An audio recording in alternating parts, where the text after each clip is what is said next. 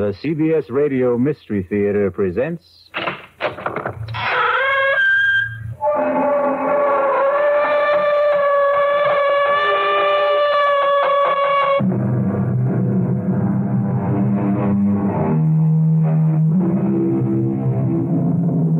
Come in. Welcome. I'm E.G. Marshall. Welcome to the sound of suspense, to the fear you can hear. I have an unusual story about a father and son. You know, it is said that love and hate are two sides of the same coin. If this is so, Phil, the son, never believed it. His hatred blinded him to the extent that he lost all humanity and compassion for his father.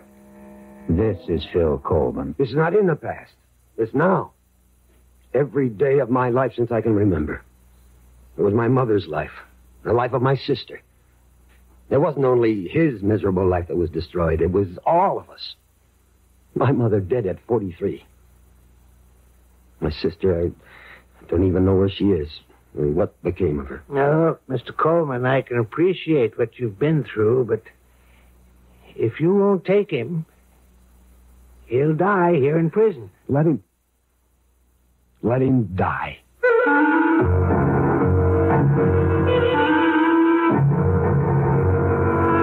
Our mystery drama, Accounts Receivable, was especially written for the Radio Mystery Theater by Sidney Sloan and stars William Prince. It is sponsored in part by Anheuser-Busch Incorporated, brewers of Budweiser, and by the Kellogg Company, makers of Kellogg's Special K cereal. I'll be back shortly with Act One.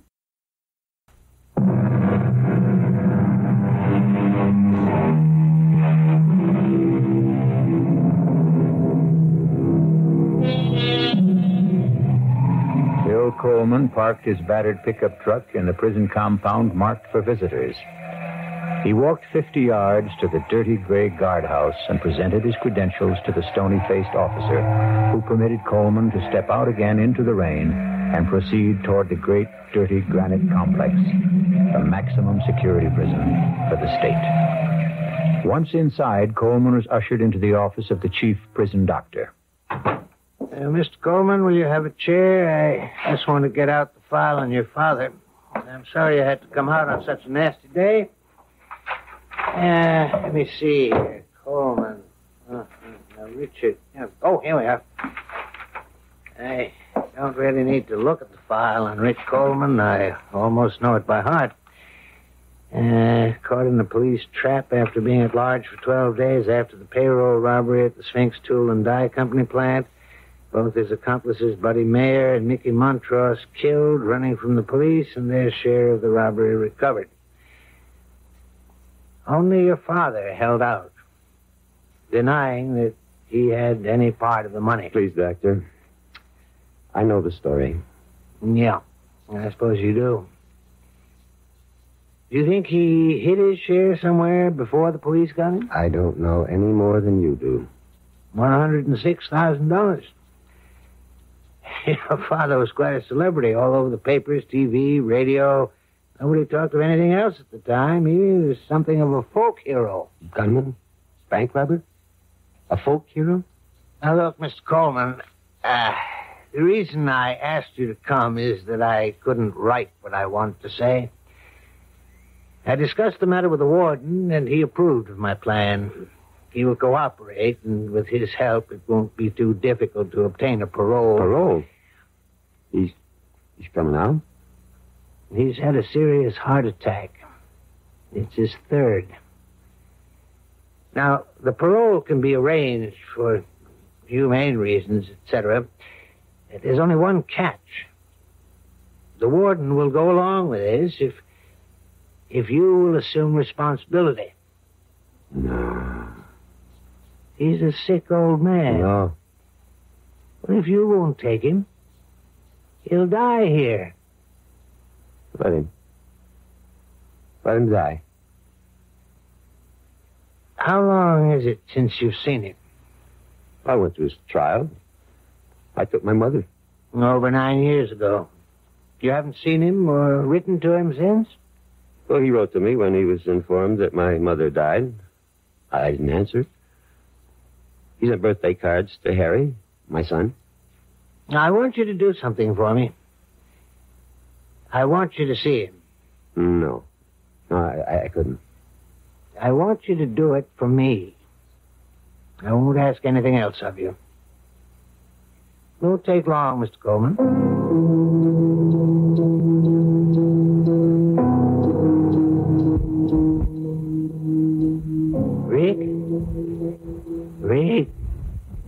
You can wake up a bit and talk? Yeah. Oh, it's you, Doc. What do you want?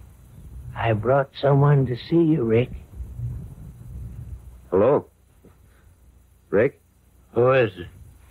It's your son, Rick. He's come to see you. Phil? You? Yeah. Yeah, Rick. Uh, how, how are you feeling? I feel fine. I been a little under the weather. I, uh, how's the kid? Oh, Harry's fine. He's uh, going to school. Fine. Nina, how's she? I only saw her that one time at the trial. Oh, she's she's okay. She's getting on.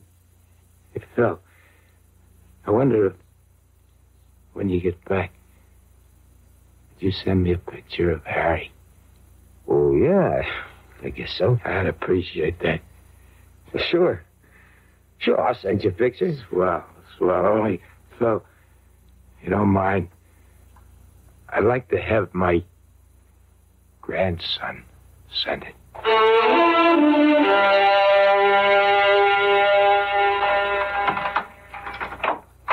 Bill, is that you? Yeah, Nina. Come on out in the kitchen. I'm fixing dinner.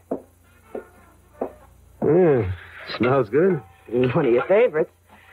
I thought I'd make you feel better with a good meal in you after a day of driving in the rain. Is it still raining? Oh, it stopped about an hour ago. Just about when I got to Glens Falls. That's good. You had enough rain. Yeah. Harry home? In his room doing his homework. But was that radio going? he says he concentrates better. Ames call? Yeah, twice. About 30 minutes ago. He uh, seemed angry. Uh, that's too damn bad. I wish you and him got along. It'd make it so much easier. But he never does his share of the work at the station. If he has to go out and pump a tank of gas, you'd think the world was coming to an end. Charlie gets his hands dirty. Well, now, you knew he didn't know anything about the gas station business, Phil. Okay, okay, I needed his money, but I can't carry him on my back. I gotta buy him out. Well, ain't you gonna ask me? I know you'll get around to it in your own time. I saw him. Talked to him. How is he? Hardly recognized him. Gotten so old. I don't think he knew me at first. He's been sick. Heart. Doc said it was his third, a bad one. That why they wanted you to come see him? Uh, partly. They had something else up their sleeve. They're going to let him out. Out. Well, I thought he was he was in for life. That's right. Four-time loser, they call it. According to the state laws, that's life. But because of his health, the doc called it uh, humane reasons or something. They'll parole him. And they have to get your approval. Huh? That that why they made you come? Something like that. They want me to be responsible for him. What? Want me to take him in, take care of him. Mm, Maybe he wouldn't want that, Phil. He's got nothing to say about it. It's either that or die in prison. Oh, Phil. I told him. I told him. No, I wouldn't have it. now, Phil, you know you're going to take him in. No, no, I'll never have him in my house. Let that jailbird die where he belongs. Let him die in prison.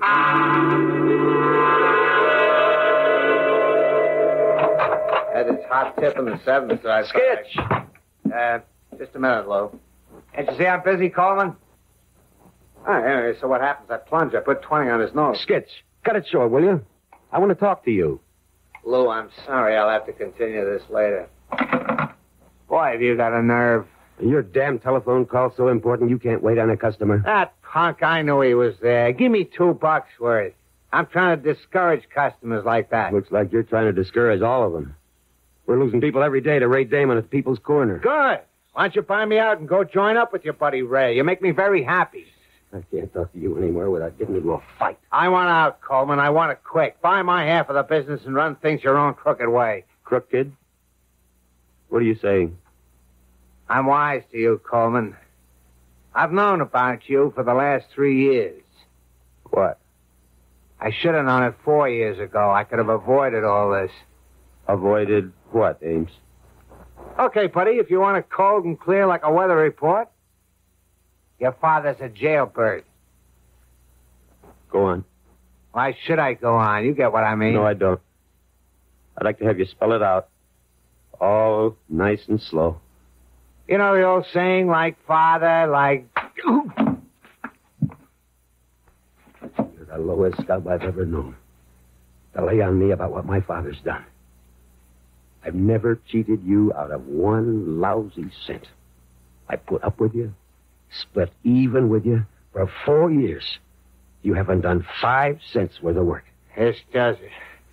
I want you to get up 15 grand by the end of the month and buy me out. I'm seeing Clark Wetley at the bank tomorrow morning. As for you, you don't have to come around here to use the phone in the men's room. You just stay home. I'll send you your cut. Now get out of my service station.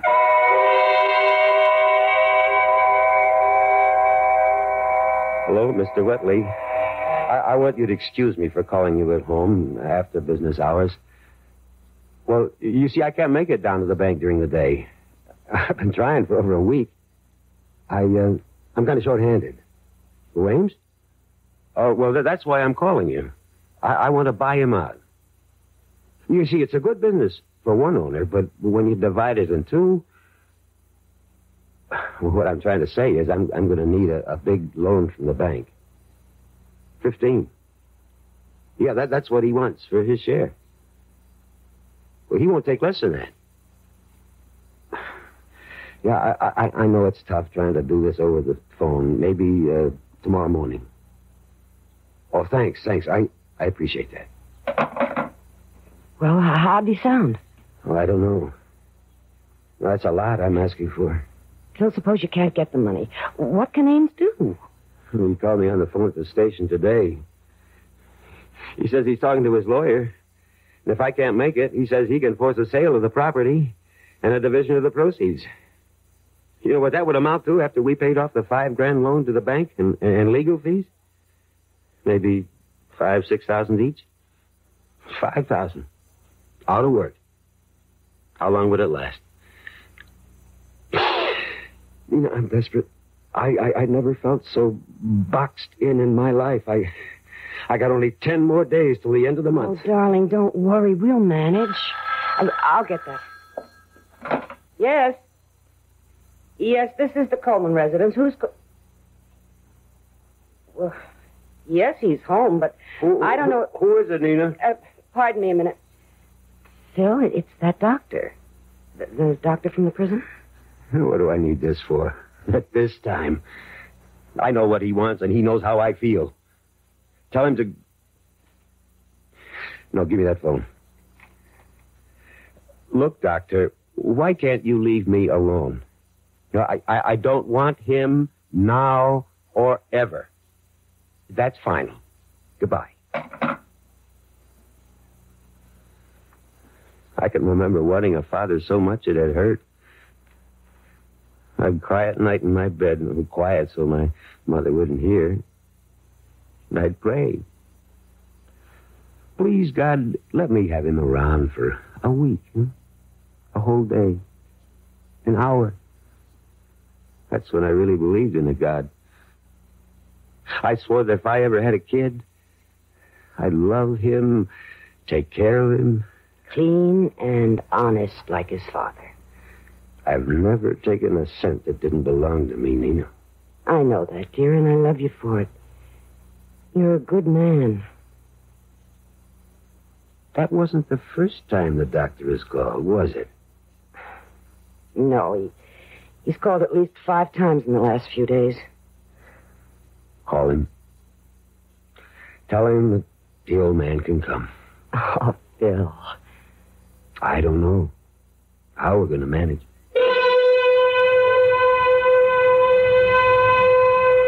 And so Phil Coleman yields to the pressure around him to accept his father into his home. The barrier of hate he has built up, however, will not dissolve. We'll return shortly with Act Two.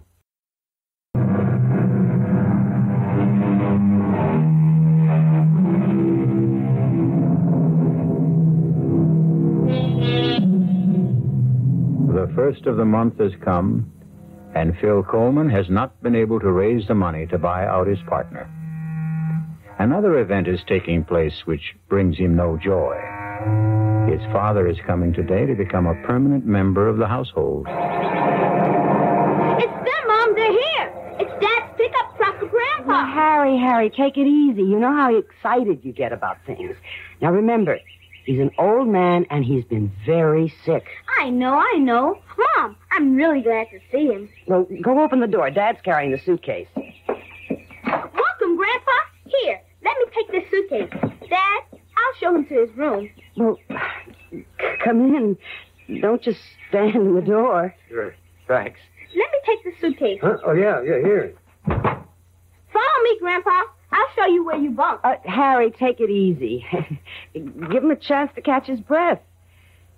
You, uh, you want to sit down, Rick? Okay to sit, Phil? Sure. Uh, if you want anything, coffee or tea or anything. I ain't just- allowed to drink coffee. Oh. Well, if you're tired, No, I ain't you, tired. you can go to bed. Don't sit up to be polite. I, I ain't tired. Oh, Nina, I'm, I'm going down to the station. I got a little work to do. well, Eddie called up at seven when he closed up, Bill. What's the point of going there at this hour? Well, today's the first of the month. I thought I'd pay my bills. Some people do, you know. Phil, your father just got here. I got bills to pay, Nina. How about a game of checkers, Grandpa? Uh, homework, Harry? I did it this afternoon so I'd have a chance to spend some time with Grandpa. How about it, Grandpa? I'm going to show you how to play that game. I was a champ at it.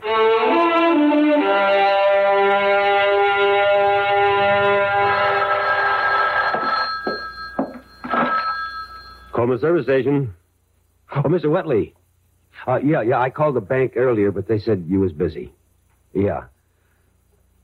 Well, it, it's getting kind of urgent. You see, I told Ames I'd be able to settle matters with him around the first of the month. It's the 11th already. He calls me every day. Mr. Wetley, I'm desperate. I gotta get that loan. What? Well, when can you let me know? Well, uh, couldn't you make it sooner? Okay, Mr. Wetley. I, I know you're doing your best for me. Uh, uh, pardon me, Mr. Wetley. Someone wants gas. Uh, please call me as soon as you know. Thanks. Goodbye. Coming. Oh, I'm sorry to keep you. This the way you do business, Coleman? You're going to run this joint into the ground in three months. Oh, I'm sorry, but Eddie's out to lunch. Or something, Skitch. Mr. Ames to you, Coleman. Fill her up. Sure, sure. Reason I dropped by, Coleman, my lawyer's drawing up papers to dissolve our partnership and... uh, Well, I, I was just talking to the bank when you drove in. Good. When are you getting the cash? Uh, soon. What does that mean? Either you're going to get it or you ain't. Don't try stalling me with soon. You said you'd have it before the end of last month. You know what the date is today? I'm doing my best. It ain't good enough. Hey, Give me a little time. Now, you, you'll get your 15 grand. I'll give you another week. Thanks, Ames. You know why I think you're going to be able to come up with the money? Your old man is living with you now. What the hell are you driving at? Everybody knows he's got over a hundred thousand stashed away from that job he did about ten years ago. You fat pig! I'll pull you out of that car. Oh my God! You're choking me! Okay. Now get out of here.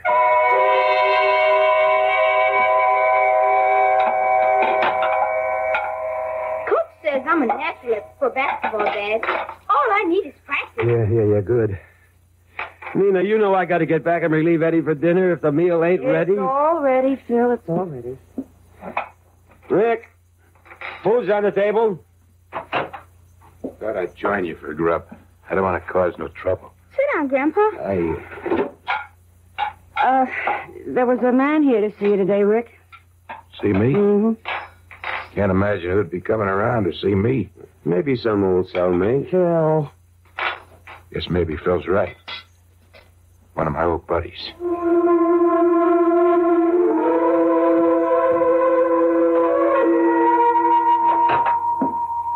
Yes, sir. What can I do for you? Uh, Mr. Coleman, Yeah. sorry to bother you during business hours, but seemed like the best time to talk to you alone. Oh, my God.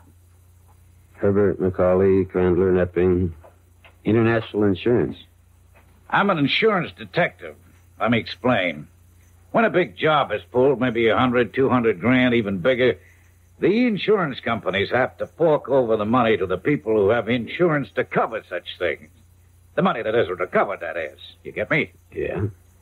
But uh, what you don't know is the insurance companies never give up. They'll follow a man right into his grave to get back the stolen cash. Take your father's case, for example. I don't want to go into it. I know all about it. It might be worth your while to talk to me. Ten percent of a hundred and six thousand bucks is a lot of green. One hundred and six thousand was your father's cut of the heist. And that's the amount still missing from the Sphinx Tool and Die Company holdup ten years ago. But on trial, he said he never got his share, that his buddies cheated him. Ah, Bunk, the jury didn't believe him then, and I don't believe him now. He's got it. but he'll never be able to spend a buck of it. We've been after him for ten years already, and that ain't nothing. We kept after a guy for 20 years and finally got the money back. Happened before I got in the company. And they caught the guy digging up a big glass bottle stuffed with moldy old bills. And here's the laugh. The bills were the big old size, printed before they changed over to the small ones. He couldn't have spent the money. it was out of date. Yeah, I, uh, I, I'm a busy man, Mr. Uh, Yeah, Macaulay. I, uh, I was over to your house yesterday to talk to Rick, but I, I figured it'd be better talking to you. Oh, so that was you. Look, I, I, I'm short-handed here. You're, you're keeping me. I guess you didn't hear what I said a moment ago. You could get 10% of 106 grand just for helping me get the money back from your father.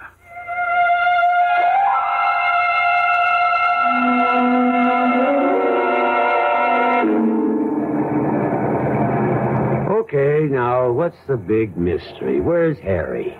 Didn't go to church last Sunday either. No big mystery, Phil. He's out with the boys practicing basketball. So you have to practice today? It's the only time the basketball field or court or whatever they call it is available. Mm, so the little stinker thought he was going to get away with it, did he? Oh, now don't be too hard on him. He's a good boy and he works very hard at his schoolwork. Oh, I know. I used to go AWOL Sundays whenever I could. As, as a kid, play basketball. Used to make my mother sore. Once she came right out to the lot where I was playing and grabbed my ear and walked me three blocks like that to school. no, I, I ain't mad at him, but I got to make a little fuss to show him my feelings. Okay, Nina. Now, don't make a big thing out of it, huh? Think he's home yet? Well, he wouldn't be this early. Got your key? The door isn't locked. Your father's home. Well, Harry, you're home. Hello, Mom. Hi, Dad. This is Mr. Kanaki, my gym teacher. Uh, hello, Mr. How do you Cohen. do? I'm uh, sorry to bother you, especially on a Sunday, but. uh, Anything wrong? well, Mr. Coleman, let me tell you that I know Harry's a good boy and an excellent student. And nothing is going to be done to uh, to spoil his record. So what, what, what are you driving at, Now, don't lose your temper, Phil? Mr. Coleman. Uh, it's just that Harry and two other boys have been playing basketball in the school gymnasium on Sundays. Well, what's so bad about that? Well, they had to break into the school to use the gym. And now, although they're all 14 and wouldn't be prosecuted for criminal action at that age, breaking and entering is a serious matter. Breaking and entering. And when we found the locks jimmied last week, we set a trap this Sunday. And what do you intend to do? Oh, well, frankly, we are not going to do anything. But we expect that the boy's parents will exert some sort of influence to keep this from recurring. You've uh, you've talked to the other parents. Oh, yes, on the phone. Three boys caught busting into the school. You call and tell the parents of the other two kids about it on the phone. But Harry's folks get a personal interview. Why? Well, uh, you see, this is sort of difficult to explain, Mr. Coleman, but uh, maybe, maybe I can help. you. Wait, Phil. Harry, you go to your room. No, no, he better stay right here. Sit down, Harry. Now, Mr. Kanaki, I'll tell you why you came here to talk to me, personal like. You know the name Coleman for a long time, don't you? Read about it in the papers? Well, uh, really, it was your son who revealed that Rick Coleman was his grandfather. He turned in a theme last week to his English teacher, Mrs. Margolis, which uh, rather shocked her. He, uh, he used bad words? Oh, no, no, no, no, that wasn't it. He, he, he seemed proud of the accomplishments of his grandfather, extolled his uh, talents, so to speak. Now, aren't you making a lot more out of this than is really there? Well, I, I told Mr. Gilchrist I didn't want to come here, but he insisted. It seems that he, um, well, he wanted to know about your father, Mr. Coleman. We understand that he's living with you. You think he's been a bad influence? Oh, I'm trying not to make any judgments, Mr. Coleman, but I expect you will. And now I think I've said enough. Please excuse me for spoiling your day. Goodbye. Keep your nose clean there, Harry. Bye, Mr. Kanaki. Go to your room, Mary. Yes, Dad. I got a lot of homework anyway. Well, what are you going to do, Phil? I don't know. But I'm going to start out with him. With Rick.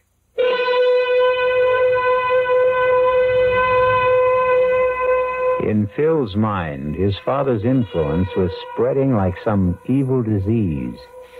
Now even young Harry was infected. But what he neglected to notice was the change in his own character. We'll be back shortly with Act Three.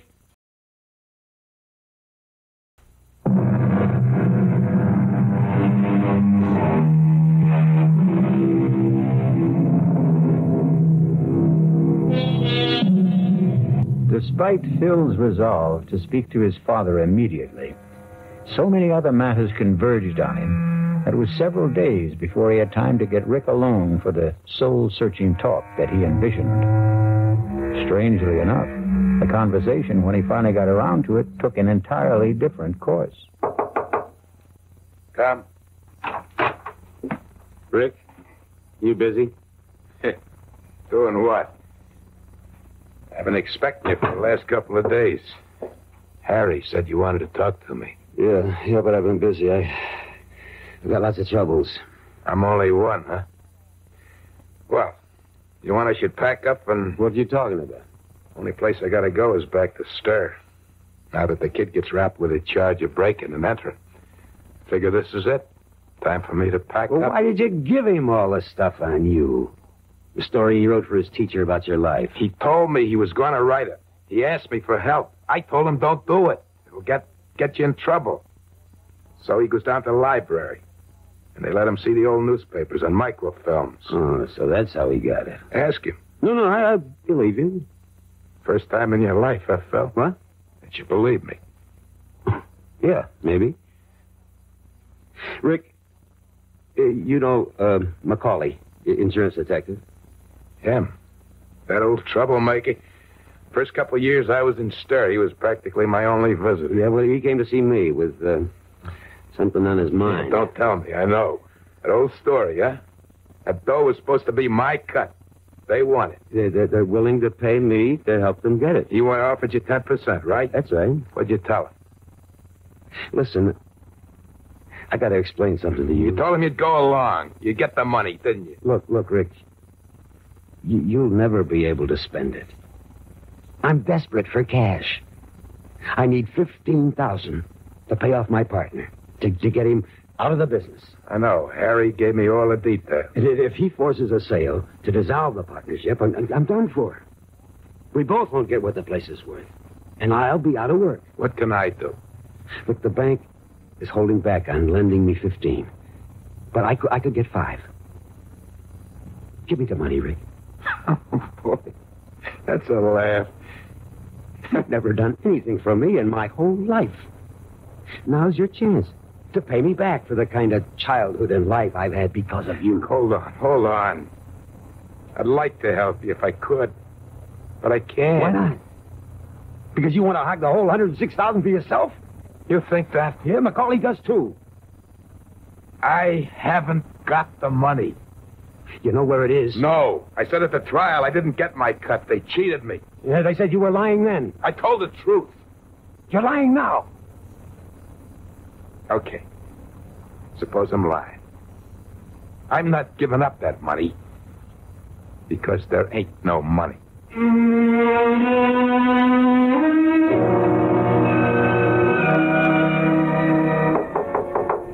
Yeah? Busy? Dad? Come on in.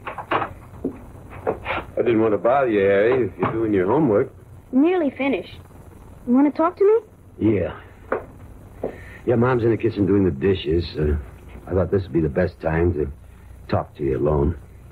If it's about that trouble. You know the Sunday basketball business? Don't worry. I had a long talk with Mr. Gilchrist, and he's going to forget the whole matter. Also, in spite of the fact that Mrs. Margolis didn't like the subject matter of the theme, she gave me an A minus for effort and research. Yeah? Yeah, that- that's good. I won't make stupid mistakes like that again, Dad. You can bet on it. Yeah, yeah. Look, what about Rick? What do you mean? Well, where does he go when he goes out?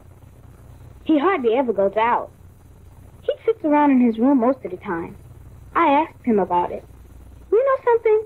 He's been locked up for so long in a jail cell that he isn't used to having any freedom. He told me he doesn't feel safe outside. How do you like that? But when he does go out, where does he go? Once a month, he has to report to his parole officer. The office is over on Dean Street. I walked over there with him once. He wanted my company. Or any other time? I mean, uh, does he go out maybe when you're in school or nobody's home? You know, slip out, kind of secret like? Why would he do that, Dad? Well, I'm just asking. You know, I'm responsible for him. I know, but you don't have to worry about Grandpa. He told me he doesn't want any more trouble in his life. He's a sick old man. Yeah, yeah. You're right. One thing, it's bothered him when he sort of let it slip out one time when we were talking. It bothered me, too. What was that? About the money? What money? Oh, you mean the money they think is hidden? He doesn't have the money. He never had it. Yeah, yeah, that's what he told me. You don't believe that? Well, let's forget I ever brought it up, huh? if Rick convinced you, that's all that counts. That's what I was trying to tell you. That bothers him. You and Mom, you both call him Rick. Yeah? He's your father. Couldn't you? What do you want me to call him? Daddy? No, not that way. But just once, be nice to him. Make him feel like he belongs. Rick never done anything in his life for me.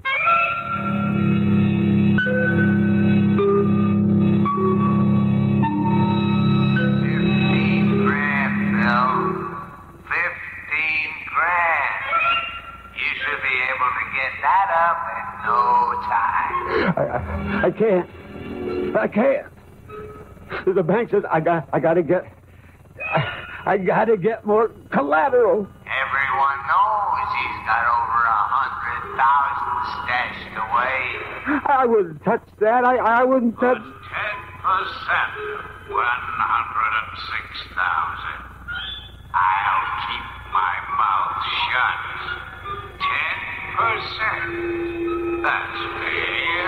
I wouldn't touch that dirty money. Take the money. All of it, Bill. It belongs to you. I stole it for you. One hundred and six thousand. Rick earned the money. Phil, wake ten up. years. No, ten years. Phil, of darling, you're having a bad It's dream. It's my money. Phil. belongs to me. Darling, please wake up. No, no, no. It's my money. All of it. Phil, open your eyes. You were hmm. having a bad dream. I, I could hardly wake you. Oh. Are you all right? Oh, yeah, yeah. I, I'm all right. Would you, Oh. do you want a glass of water or something? No, no, no. uh, No, I'm okay now. You were dreaming about that money, weren't you? You kept saying something about 106,000. And then you said, it's mine. It belongs to me. Oh, that's just a dream, you know. Did you forget it? I'm getting up. Bill, it's one o'clock in the morning. You've only been asleep 2 I'm hours. getting up. Mind if I switch on the light? No. I'm going out, Nina. Out. At this hour? When will you be back? Uh, later, I, I don't know. I don't want you to say anything to Harry about this. Or to anyone. Understand? No. But I won't say anything if you don't want me to. No, I, I- I'd like to explain, but there's no time.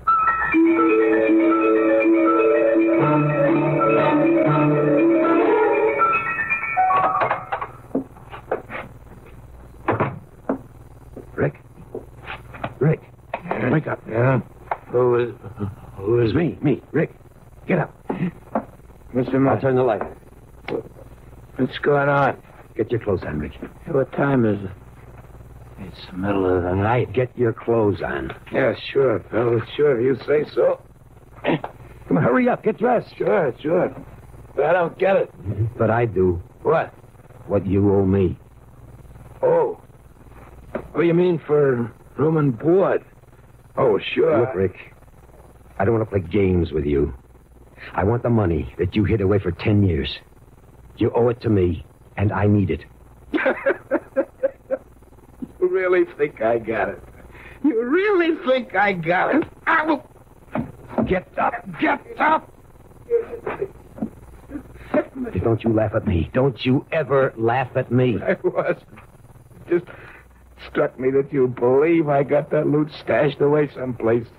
Just like everybody else. That's right. And I want it. Now, you and me are going to go where that money is. Phil, tonight. I swear I ain't got it. I never had it. I, Get up. Come on, come on, get up. I told you the truth, Phil. You never told the truth in your whole rotten life. But you're going to come clean with me now, Rick. We're going out tonight, and we're going to get that money. All of it. Phil, you're acting crazy. It's mine. That money. You owe it to me. It's kind of like what they call accounts receivable. It can't work, Phil. It can't work. Why not? Because there ain't no money. There never was. I never got any cut. Rick. Rick, you all right? Yeah. Yeah, yeah. Just fine. Well, Okay. Okay. Let's go. You win.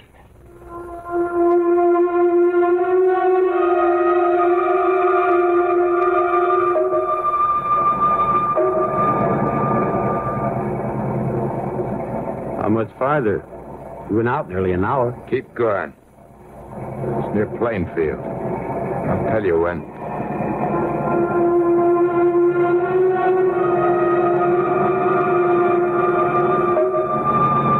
We're five miles past Plainfield. It's near here.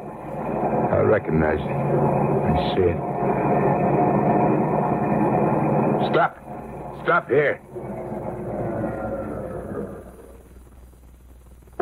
Okay.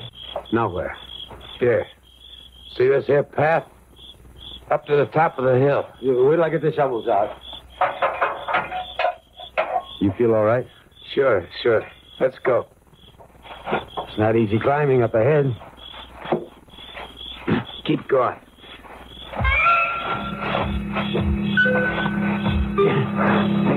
Keep going.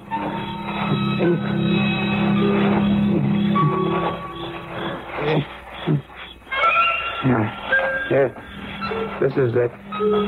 Here, start digging.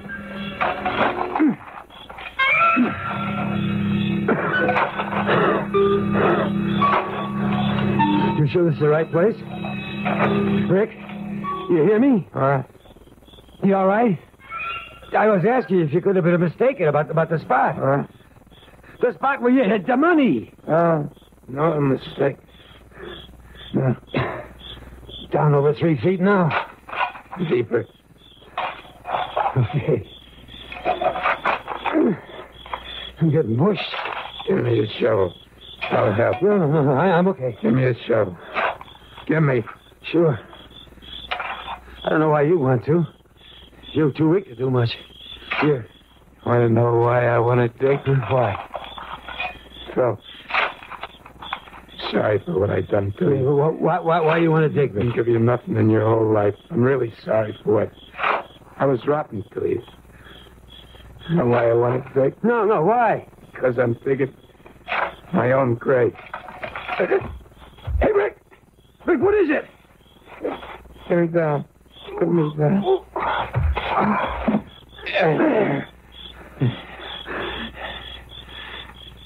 There ain't no money, Phil. Not a damn cent. No dough. I was telling the truth once in my life, and nobody believed me. Okay. I believe you. No, now take it easy. You, you're going to be okay. No, never. No, why'd you want to go through with this whole digging business if you knew it wasn't there? I wanted to show you what wanting money can do even to an honest Joe like you. Now maybe you can understand the kind of mug your father was. Oh, Rick. Rick, listen. Everything's going to be all right between us from now on. Sure. Sure. Only one thing. Yeah? Call me something besides Rick. Yeah. Yeah. Yeah, I, I've been wanting to. I, I've been wanting to. That easy for me to say it. Pa? Pa? Get well. Don't die, Pa. Thanks, Phil. Thanks, son.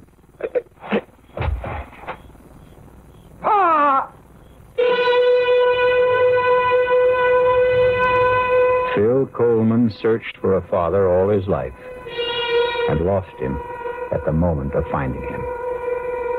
I'll be back shortly.